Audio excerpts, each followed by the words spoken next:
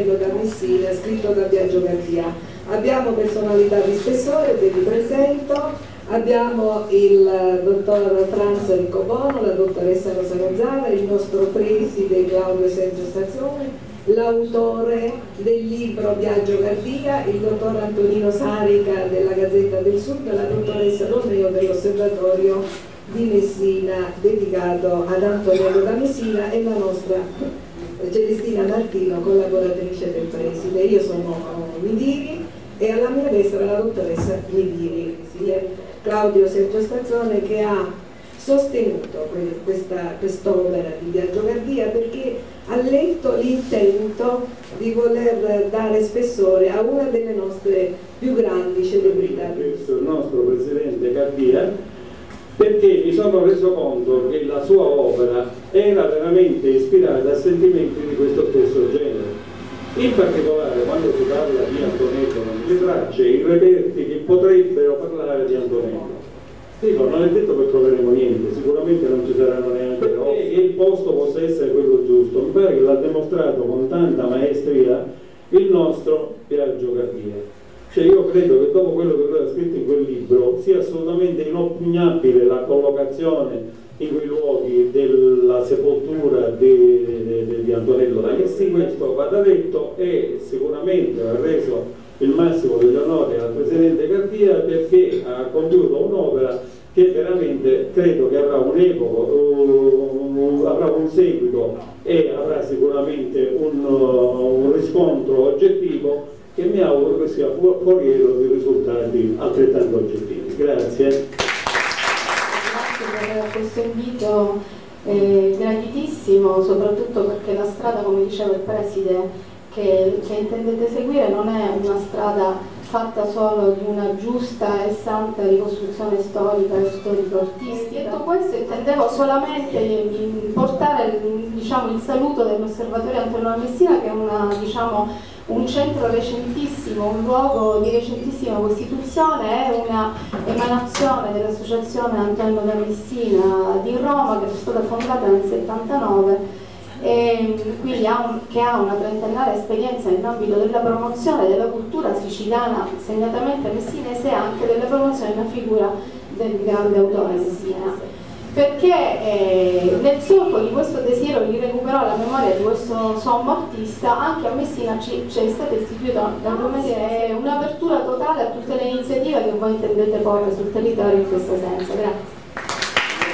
è quella di un lavoro di sintesi eh, su quanto è stato scritto ed è stato detto eh, su un dibattito che è ancora vivo in città la posizione della tomba nella seconda metà del 400 in particolare quando viene sepolto Antonello e quindi eh, la disputa tra i vari penso accesa ma è questo un bene perché dal confronto certamente si potrà definire meglio eh, il luogo di questo eh, di Antonio, però lui specifica eh, Messanensis o, eh, di Messina, lui già in vita eh, ci tiene anche quando eh, lavora fuori dalla città dello stretto eh, vuole ricordare sempre nella firma dei suoi lavori l'appartenenza uh, alla città di Messina.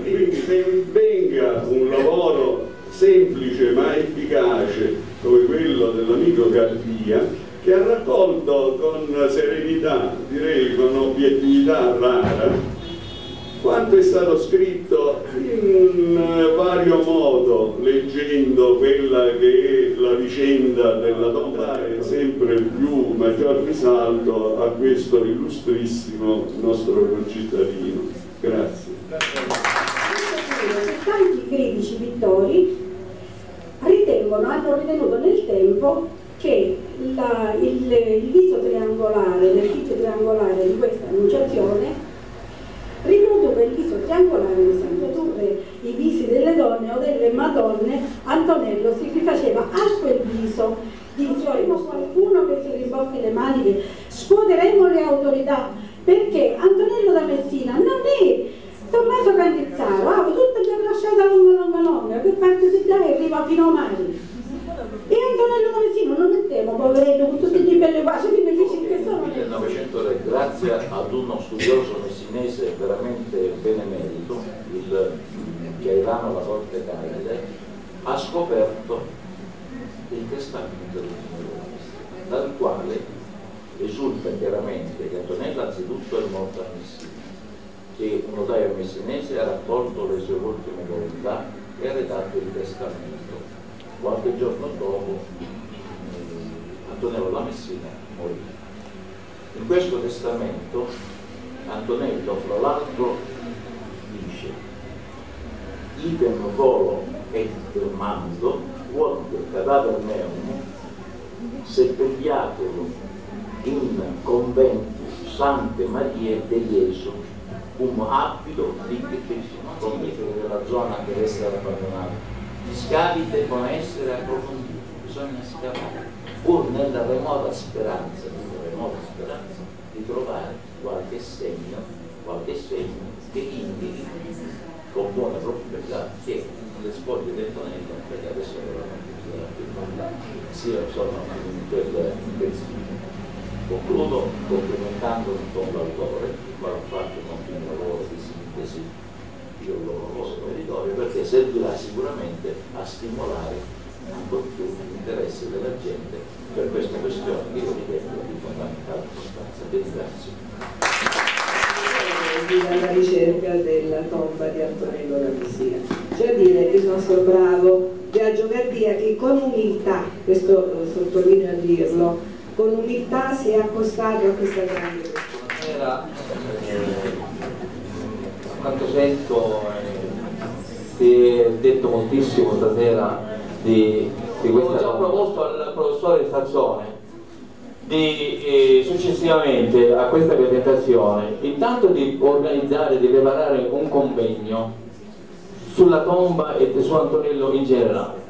E poi ho proposto che già abbiamo una bozza iniziale di uno statuto di fare un comitato civile di aprile adesso passa un anno, io il 5 aprile 5 aprile sono andato alla ricerca ci ho impiegato un'ora ci ho impiegato un'ora per trovare questa presunta tomba di Antonello è, stato sepolto lì Antonello da Messina o nel stato sepoltare ha scritto nel 1550 poi con copia nel 1568 Antonello da Messina è morto a Venezia. Intanto io vorrei scrivere che Antonello da Messina è morto a Messina perché già nel 1476 lui, di, di, come, ho detto io, è ritornato a Messina e lì era in testamento che è stato, è stato anche copiato e noi ce l'abbiamo nel sangue la nostra città. Quindi facciamo qualcosa per la nostra città. Vi ringrazio veramente della vostra